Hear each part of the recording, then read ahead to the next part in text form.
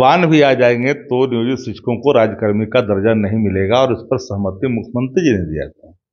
इस संकल्प और निर्णय तेजस्वी जी का था। सत्रह महीने गवर्नेंस मॉडल जो प्रस्तुत किया बिहार की जनता के सामने, जिसको बिहार की जनता ने भूरी भूरी प्रशंसा की, उसी का प्रतिफल है कि जो राज्यकर्मी का दर्जा प्राप्त हुआ, जो नियोजित शिक्षकों ने दस्ता परीक्षा पास की है, उनको मिल गया। राजा भले ही नीतीश कुमार मुख्यमंत्री थे, लेकिन निर्णय तेजस्वी जी का था। ये बात समझनी चाहिए विजय चौधरी जी को। इतनी सी बात समझ में नहीं आता तब ना इनको बात सुनना पड़ता है अपने मंत्री। प्रबंधन ठीक से काम नहीं किया था, इसके कारण आपदा आ गया। दो बार गलती करके, उधर गलती किए कि दो बार गलती करके, इधर गलती किए ये दो भाव है, दो भाव को समझना पड़ेगा।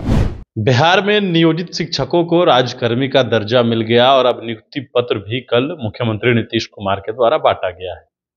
नीतीश कुमार के सामने ही मंच पर विजय चौधरी ने कहा कि यह जो विजन है वो नीतीश कुमार का है। नीतीश कुमार ने ही सोचा है और उन्होंने ही किया है। बात करेंगे राजद के मुख्य प्रवक्ता शक्ति सिंह यादव से कि आखिरकार जो विजय चौधरी कह रहे हैं और नीतीश कुमार के सामने ही उन्होंने कहा कि ये बात क्यों कहनी पड़ी? ये बात इसलिए कहनी पड़ी कि विजन तेजस्वी जी का है।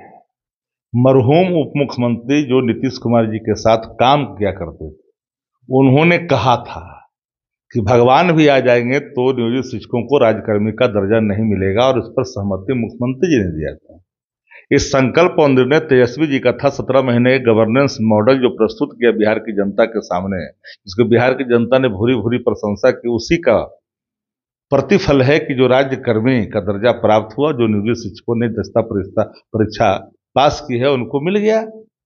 और वो जहाँ है, वो काम करेंगे। ये निर्णय तो तेजस्वी जी का है। तो बार बार क्यों विजय चौधरी को कहना पड़ रहा है कि तो मुख्यमंत्री तो सत्रह साल पहले भी थे। अगर हस्तिनापुर में कोई कब्जा करने के लिए आ रहा था राजा सालू और देवव्रत ने उसको रोक करके हस्तिनापुर की सुरक्षा कर दी, हस्तिनापुर की सुरक्षा की तो योद्धा का नाम जाता है। राजा शांतनु का नाम नहीं जाता।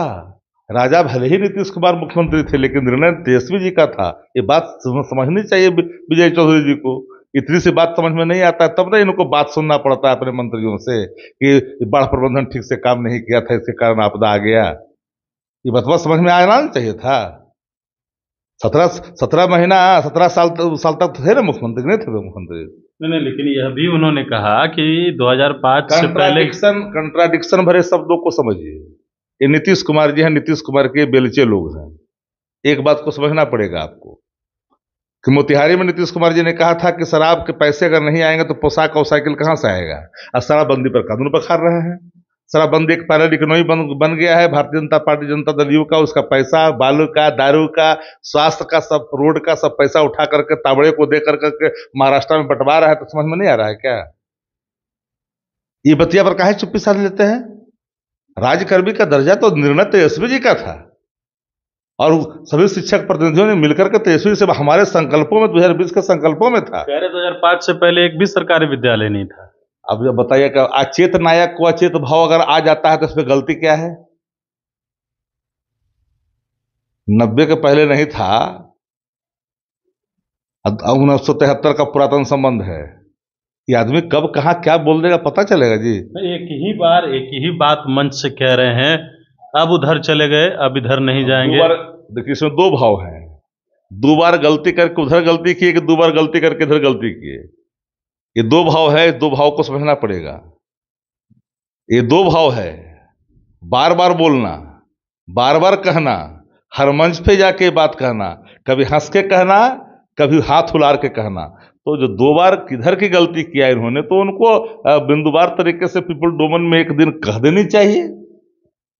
वो कह रहे हैं कि अब उन लोग के साथ नहीं जाना है। अब किन लोग के साथ नहीं जाना है? दुए बार गलती हुआ है जोड़ लीजिए दोनों तरफ़ से। तो छियानवे वाला रिश्ता आपसे नहीं ना है? छियानवे की बात कर अब इधर तिहत्तर का पुरातन नाता उन्हें पंचानवे का पुरातन नाता है छियानवे का। ओकरों में गलती बोल रहे हैं पंचानवे में अकेले लड़े थे जानकारी है कि नहीं?